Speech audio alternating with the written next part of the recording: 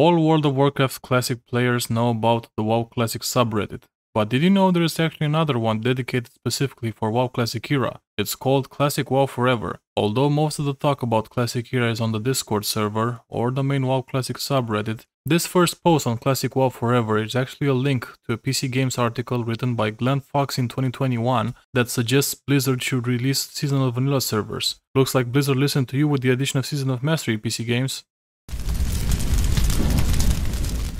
While there are exceptions to this rule, most of the classic era realms are connected into clusters, which means you can interact with other players in the same way you would as if there was only one realm, provided that you play on the same cluster. Realms are grouped by type, so in EU you will have one cluster that contains all the PvE realms, two PvP ones, while the role-playing and non-English realms remain standalone. In NA, there are three PvP clusters, two PvE ones and one Oceanic cluster, while the role-playing realms remain, the same as in EU, standalone.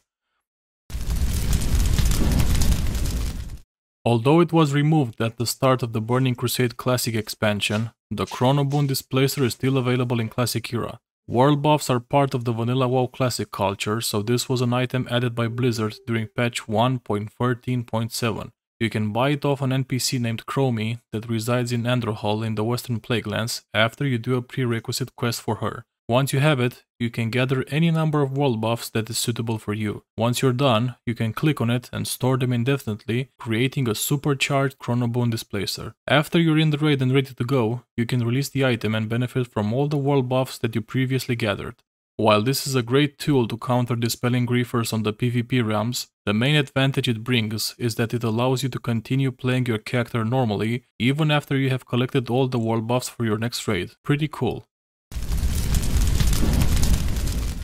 Classic Era realms are running on a 1.13 client version of the game, and they do contain a quality of life change that was not present neither in vanilla nor in the 2019 version of Classic, and that is the automatic dismount feature which, as its name suggests, dismounts you automatically whenever you interact with an object in-game. If you want to disable it, it is possible to do so by typing in the following command variables shown on the screen. If you wish to play on Classic Era realms, but aren't very keen on doing the entire grind to level 60, there is a way to speed it up. Season of Mastery realms are still open to character creation until February 14th, 2023. Should you choose to level there, you will benefit from a buff that essentially doubles the XP and gold you get from quests. After the realms close, or you are done leveling, you can choose to freely transfer your SOM character to the Classic Era realms. While Blizzard isn't seen with very keen eyes as a company that is in constant touch with its community, there is a direct link of communication between the Classic Era players via the official Classic Era Discord with one of WoW Classic's developers, Aggrend. Aggrend has provided us so far with very valuable information, especially on the state of bug fixing the game. And speaking of bugs, the Classic Era community has kept a comprehensive bug list that also contains changes to the 2004 version of the game. This shows how dedicated the community of Classic Era players has been in reporting those bugs to Blizzard, with the hope of making their Azerothian home even better than it already is. A popular opinion I have seen circulating the social media around WoW Classic is that all players are in full tier 3 bis and just repeatedly raid Naxx week in week out. Let me assure you this is not the case. While there may be veterans that have sticked around ERA ever since it launched and are speedrunning Naxx every week, the recent influx of players, either from Season of Mastery or returning players from Wrath of the Lich King, means you'll regain that sense of progression you had during the initial phases of the original WoW Classic. I've been noticing recently that new guilds are forming, and these are surely preparing raid MC for the first time. Hell, even I'm in a progression guild, where we've just recently got BWL on farm, so we've still got a long way to go to complete every piece of content this game has to offer. Therefore, if you feel like it would be too late for you to join Classic Era, don't. Give it a shot and see for yourself how it feels to be home again in Azeroth.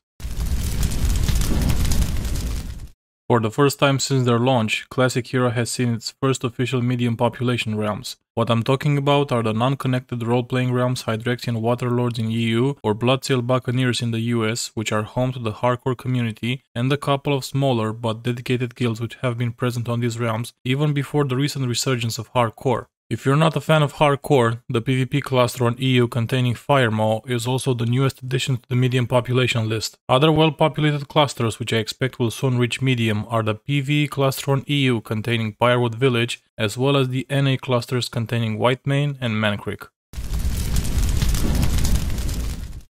If you somehow do want to play hardcore and also benefit from the Soul of Iron buff, you can create a character on Season of Mastery, get the buff from the NPCs in Ironforge or Undercity, and then take the free transfer to the Classic Era realms. I mentioned Blizzard's developer Aggrend earlier, so here's a fun fact. He has hinted on the Classic Era Discord about the possibility of bringing the Soul of Iron NPCs over to Era.